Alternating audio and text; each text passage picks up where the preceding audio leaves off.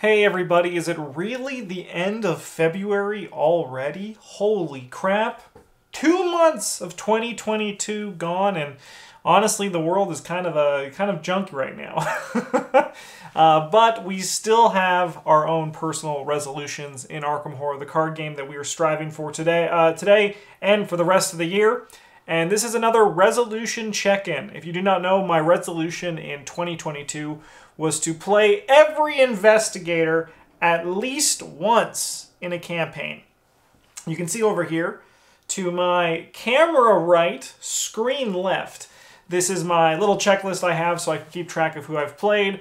The testings, uh, they are for standalones. I'm not going to be talking about those in detail, but I'm also just trying to also give myself my own variety of life. But we have six new additions that we're going to be talking about this month for uh, who I've gotten, I've finished a campaign with, or have gotten the majority of the way through a campaign with.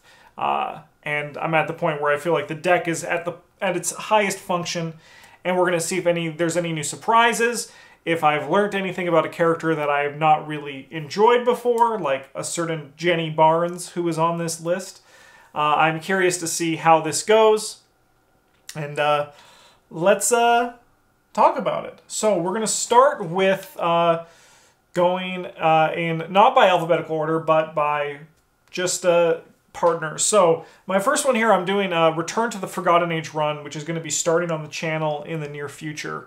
Uh, and this one, it actually started with uh, Jenny Barnes and Marie Lambeau due to a patron's recommendation for what I should try out for my investigator combination for that campaign. It went terribly. Uh, they Marie and Jenny, it was a mess. I was trying things out. I was like, I don't want to do just your stereotypical Marie Lambeau who's going to get clues and then Jenny's going to kind of just flex in both spots. I wanted to really focus on specific things. The whole thing went belly up, and I said to myself and the people watching, I said, there's no way that I want to have this be my showcase for these investigators. My hope in playing this and this year resolution is to find what I can find to be the best version of that investigator. So I don't want to phone it in. I don't want to have this investigator just absolutely for me to just fail them because I'm not doing them in the best combination they could.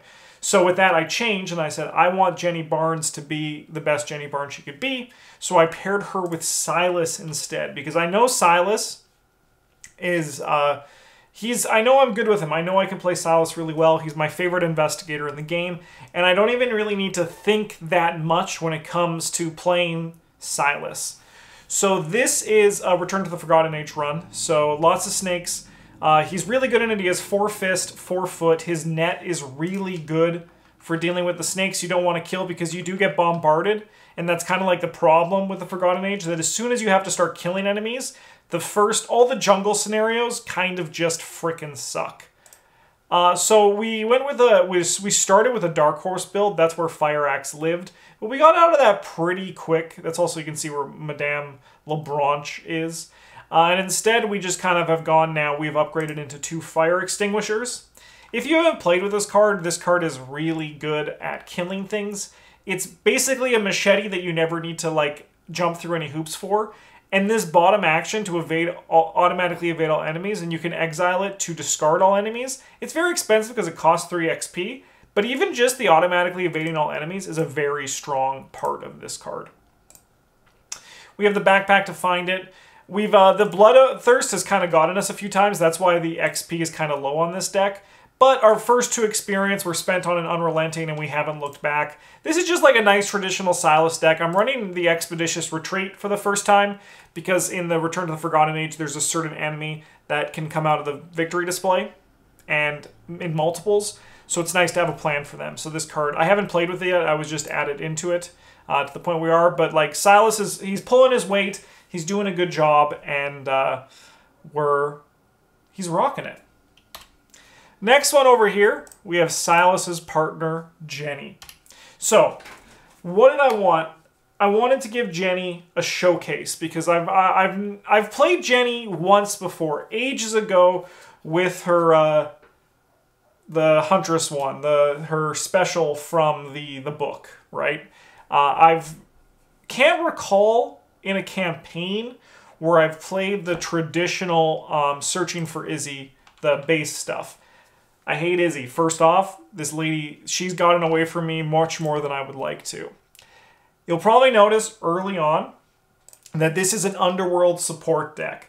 In our review and also in other content, Underworld support is kind of like it's got me. It's got it has its little pincers around me and it's like it's sucking the blood out of me and I'm like, yeah, I love this. This is really exciting. For some reason, this card just, it freaking gets me. I love the idea of playing with this card and I want to try it with as many places as I can. We are going to see it, spoiler alert, it's going to be coming up again on this list in the near future. So, uh, our deck size is down to 25. We got pretty, uh, no, sorry, that was another person. We have Paranoia. But, yeah, okay, no, we actually got, I wanted to build a big, um, money deck. I was like, I want to build a big money Jenny deck and I want to play the Black Fan. That unfortunately kind of went sideways when earlier on, yeah, so yeah, no, this one is because we started with an indebted in our, uh, for this one. So like, I was like, okay, that's fine. But then in the campaign, we got a paranoia. So I had to mulligan out. Now, Bryn said, he gave me the advice, let me just open this, that in a big money, that's where investments come in really good. If you get this. But, so I could have got an adaptable into investments in order to kind of work against this weakness that I got, the, the paranoia. But instead, I decided I'm going to go for, go all more in on the money spending Jenny. The downside is this well connected is kind of awkward because this was my first upgrade. Because I think if you're going to go big money, well connected, level three is just really good. At if it brings all of your bumps down one resource, that now means that eight you get plus two as opposed to only plus one, right? Yeah, didn't go too well. Didn't go too well. Luckily, though, this spending money Jenny can live around. She lives kind of around four money quite a bit because we kind of want to keep the counter espionage going. And uh, it's Still even good. A plus one on tests that matter is kind of okay. Lola and lockpicks obviously do a lot of work. We have the goose, and the goose was part of my plan from originally, and we weren't going to draw cards. Um, and that's why there's no lucky cigarette case and why there's no, uh, there is this one perception which shouldn't really be here anymore. But like the whole point is that we, we weren't going to be drawing cards. And honestly, the deck, it works. It works. It's not exactly exciting, uh, and Jenny is kind of just, um, she's kind of just still fine to me. Like, she's still, like, probably a C tier investigator in my own personal ranking system. She doesn't get the glow up that Rita had, where Rita was like, okay, Rita is looking really nice. Rita is she's she's powerful, she's tricky. She went from a C or D even. I don't even remember what I had her at, but she went to a B tier for me. Rita is nice and consistent now, and she has, if she gets all the pieces, she becomes really good, which to me is like the B tier. They need a lot of work to get going. Jenny needs a lot of work in my mind to get really going. Those threes are all awkwards. If I get the goose out with Lola, we're rolling. We're rolling, right? We're, we're killing it. Um, and Savant has also been really nice. Like this Jenny, she's doing stuff, but she's not doing to the stuff where I would like to the point where I would make it be really exciting for me to want to play her again. She's kind of just Jenny. I do want to try the Jenny that actually is big money Jenny. Unfortunately, uh, that probably won't be until 2023 because I have a lot of other investigators I need to play first. But I do want to play a big money Jenny and not get disrupted by a paranoia. And once again, you still could, with investments, take advantage of it. But I, at this point, I was like, no, we're just going to adapt. We're just going to adapt. And like, we're still functioning really well. This another day, another dollar is not that it like, it just balances out our indebted, right? We'll probably get one more before the campaign is done. But it's working, but it's not exactly bombastic, and it does not excite me the way that Rita does now. Rita is really good. Jenny is still just Jenny. Okay, Rita is Rita is good. Jenny is okay. That's kind of still how I'm feeling about Jenny after playtesting her here. All right, well, that is it for my Return to the Forgotten Age run. Let's move on to something that's uh, I've uh, it's been strange. I've uh, been playing offline. What the frick is that allowed? First off, am I allowed to play a game offline? Yeah, I I uh, I decided I wanted to. I needed to get my my get some more investigators in because I need to like average like around five investigators a month. Otherwise, I'll fall way behind. So I was like, okay, we're going to play some offline, and I'm going to grind out some of the investigators that I've played a lot on the channel and are not particularly interesting. So here is a Nathaniel Cho deck. Wow. this is just Nathaniel Cho. Uh, he's doing great. He kills things really well. His upgrading is kind of just right. I love sweeping kick in him. This is my first time playing a Nathaniel Cho with Sweeping Kick, and it is really good. It's a good time. It's the more just like kill spells Nathaniel gets, the better. But as you can see, it kind of just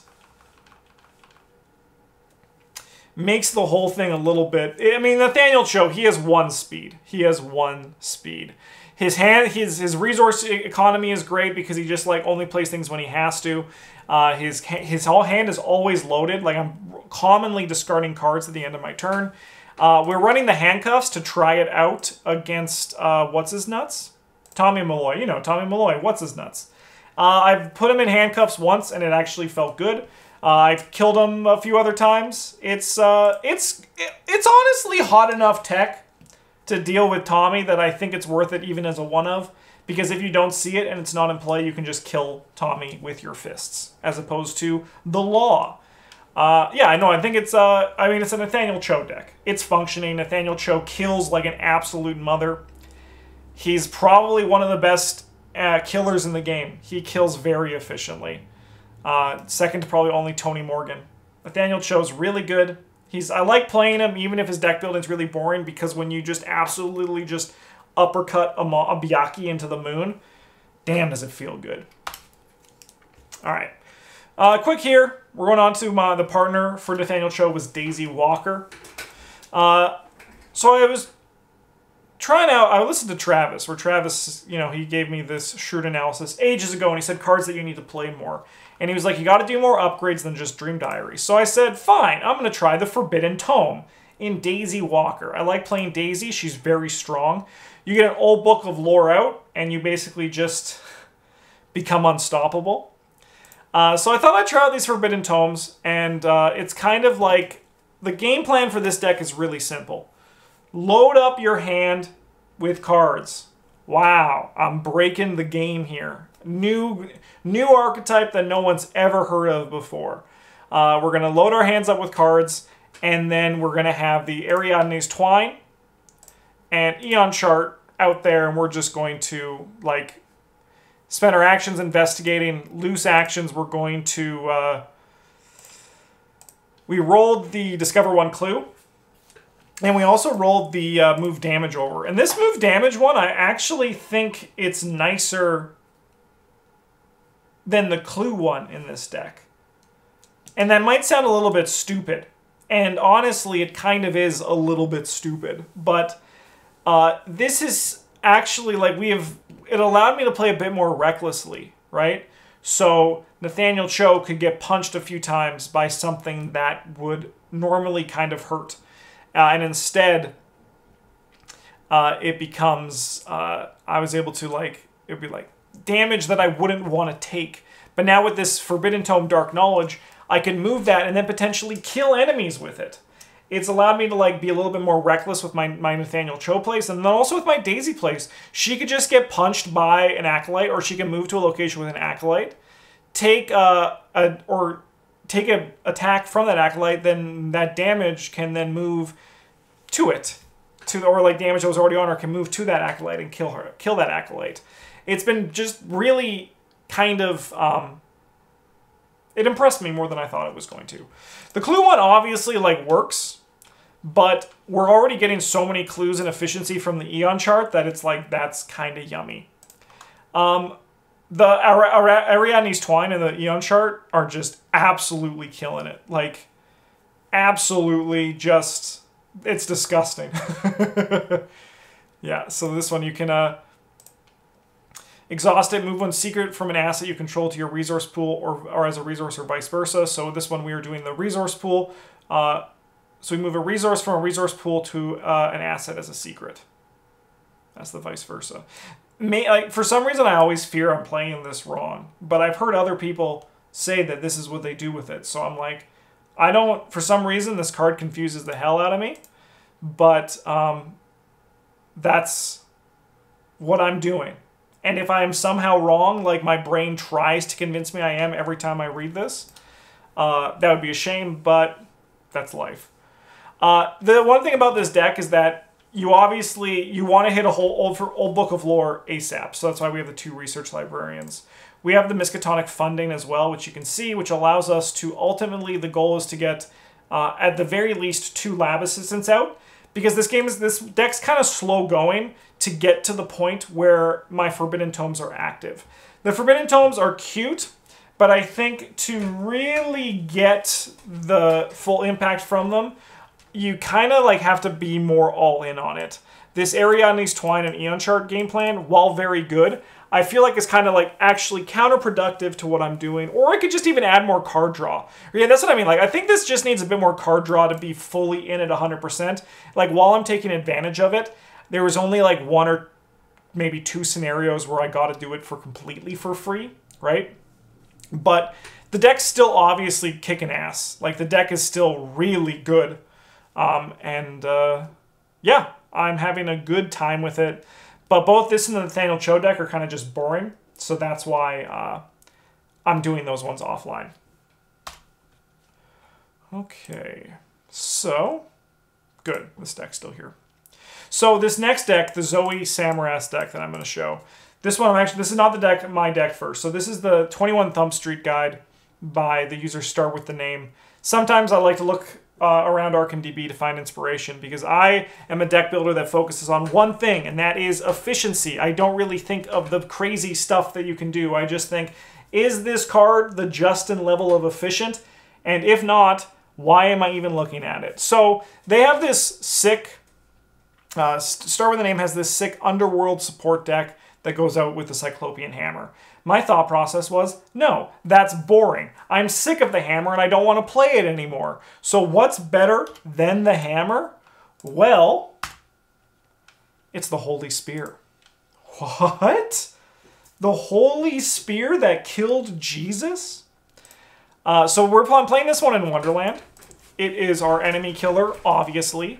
Uh, it does have the Sixth Sense to help get clues, as well as the Holy Rosary. This is like the the spear is less here as the payoff to a bless mechanic because we're not really like doing too much bless.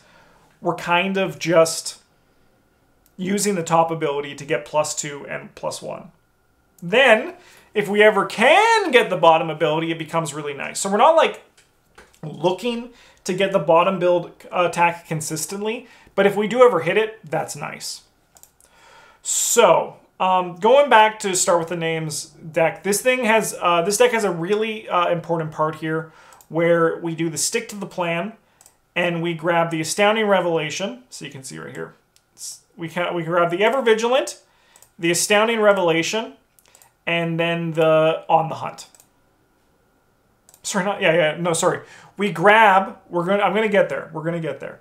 Uh, we grab the Ever Vigilant, the On the Hunt, and the Prepared for the Worst. While we're searching, we play the Astounding Rev to get two additional resources. And then this brings our deck size down really small. Teeny tiny. Which means that if we don't draw the Holy Spear in our opening hand, we probably drew the backpack, which means we're going to find the Holy Spear. Can you miss? Absolutely, I have missed. I had all my items in the bottom half of my deck. That was kind of a nightmare. Um, but it's uh, it hits pretty consistently to the point where you're going to get at least the blade or the holy spear, And then you'll be able to find your other stuff pretty easily because you also have prepared for the worst as backup on your stick to the plan. Uh, Holy Rosary is really nice in this deck. I've actually in the in the Wonderland, which is going to be coming out on the channel in the near future. I actually got everything. I I, I got like eight bless tokens in from this, which is kind of crazy. Uh, other bless payoffs we have are some. They're not in here yet. They're down here. Yeah, yeah. I actually even even had added the the righteous hunt, which was another way for us to get blesses in the deck. We have a tempt fate to get blesses in, but really, actually, the holy rosary is really good at just getting us there. Let's just test five on treachery tests, which is probably going to put at least two in. Like I said, we got eight in on my last time that I played this. This deck has been doing really good and it's really consistent. Even if you hit just the Enchanted Blade to start, it's going to do really well at to the point where then you'll eventually find your Holy Spear and, you know, start stabbing. Um, other fun cards, I just added the Enchant Weapon. I haven't actually played with it yet. But, like, this deck is pretty much, like, hit its function. I'm not really exactly worried about um, seeing how more it's going to shape out. I think this card is just, this deck is just, it's doing it. It's really good. Once again, this was based on the 21 Thump Street, I believe it was called. Uh, it's, uh, here, let me just, let me get it open again. Because if I'm going to talk about the deck, I should credit the freaking deck. Yeah, 21 Thump Street. So you can kind of see very similar. I was less on the David Renfield plan that the original deck was, but like the deck uh, is kind of the same philosophy. Uh, different kind of colors too for our splashes. I did not run the Sledgehammer. Uh, I went for a Quick Thinking instead, which is kind of like a weird choice in the Goon deck. But because I also have the Sixth Sense, it's actually been kind of nice to, you know, use there as well. Uh, one last card that I want to just give a big special shout out to is this Gang Up. This card base is a plus two, plus two for three. That's all right. However, we have uh, a Sixth Sense, an Enchanted Blade, a Medical Student. These things are, especially the Sixth Sense, I will just play pretty commonly if I find it. So this thing actually hits for, not on the hunt, uh, this gang up hits three for three pretty consistently every time. I'm very impressed with this uh, gang up. It's been nice. On the hunt three is nice as well. Uh, works really good for Zoe. Yeah, especially off the stick to the plan. Just the time where you're like, all right, I'm ready to kill something. Let me find something to kill and get some money out of it in the process. Okay. Who on Earth are we playing with uh, Zoe, you may ask? Well, you don't even need to ask. It says uh, right here, Minh Thi Phan. Right at the top of the second call of the second side. Minty Fan, Minh digs through the trash. So this is one that I wanted to play. Let me scroll down so you can see the deck. That I wanted to play because everyone thought I did Minh dirty in my uh, ranking for it. Because I gave her a B. And I still mostly stand by that B. Maybe leaning a bit towards A the point now where this deck is loaded with all this experience, I'm not going to deny for a second that it is powerful. It's very strong. Um, but I feel, and I actually even felt this earlier on in the campaign, that without all of my pieces of my puzzle, Minh was still just kind of weak. So, like, I still think she's. I think I, I was ultimately wrong to give her a B, but I'm leaning like maybe low A, maybe high B for her still. Now that's enough about Minh. This deck is particularly juicy. Uh, the ice pick scavenging stuff works really well. The Scroll of Secrets 2 has been it's been very nice to play with, especially when you scavenge it out of the discard pile. Like that's that's kind of juicy. Uh, it allows you to bury your weaknesses because you can just keep putting good cards on top until you can discard your weakness from the bottom. Uh, and then if you just keep kind of like cycling them out and scavenging for other ones, uh, it's kind of nice. The only problem is Minh's some you got to still succeed by two on the scavenge. And with Minh like being at four, five with Jeremiah Kirby, it still misses a lot of the time. So like this is ultimately like if Minh had five book printed, obviously she would be busted, right? Like she would be very strong. But like her stats are still making me kind of crave more power from Minh. Uh, but once again, this is not me saying that this deck is bad. This is obviously a very good, very hard-working version of Minh. And like when all the pieces are going together, you are very strong. Um, but it's the pieces, not the whole. Uh, this Jeremiah Kirby, I, I, as you can see, I built my deck to be, uh, so we have 15 odd cards, and then we have uh, four uh, we have four uh, even cards, and then the rest are skills. So I've actually been drawing pretty consistently three off Jeremiah Kirby here. Uh, I could have been using William Webb, but I think the book, I, I value the book boost quite a bit. Uh, obviously, what's another big winner here is the Glimmer of Hope. It's been really nice. And then, like, the quietly, but also not so quietly, the strongest card in this deck is easily Sharp Vision. This card's absolutely incredible. I was lucky enough that I got two Elder Signs when I had it committed, and that was kind of juicy. Like probably the one of the most powerful I felt. I was just like, sure, I'll play another Sharp Vision. Sure, I'll play another Sharp Vision. Sure, I'll play another Sharp Vision. Uh, it's really nice. Once you get your ice pick cycling, and you can just like keep grab the other, but like that's for opening a door. That's not for stabbing someone. That's using it as a key. Uh, it's really nice. Schoffner's catalog is also kind is just just good, just gravy. It's working really well with uh, Zoe as well to help her pay for her weapons and all that, or even her rosary and her necklace. Uh, Unrelenting obviously is still good here. It's by no means uh, like Silas or Amanda busted, but it's still just consistent and good. Uh, I think I talked about a Glimmer of Hope. This card's just, it's my favorite card to see when I draw it. I love drawing a glimmer of hope because that means I'm going to be getting them all back very soon. Yeah, no, like the deck is very fun to play. The deck is very strong.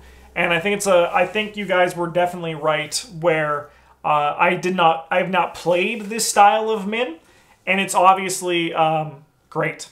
It's strong. You guys were right. I had a really good time doing it. Uh, and I'm excited to finish the Wonderland campaign uh, coming up next bit. I think we have like three scenarios left.